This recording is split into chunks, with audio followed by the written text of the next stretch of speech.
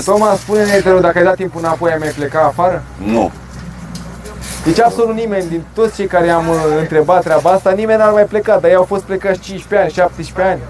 Uh, Nu aș mai pleca nicio secundă din țara mea. S- Am luptat, uh, am un salariu decent și aici în țară am o meserie de bază.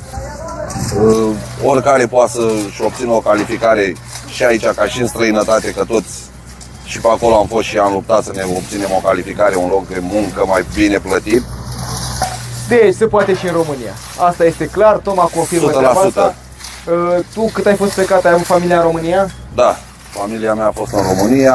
Și îți întrețineai două case, și pe tine acolo și... Între timp mi-am adus și familia acolo, dar din păcate foarte greu ne acomoda. Trăiam să plătim chirii și să trăim ca După o zi pe alta sau, mă rog, de la o lună la Exact. alta.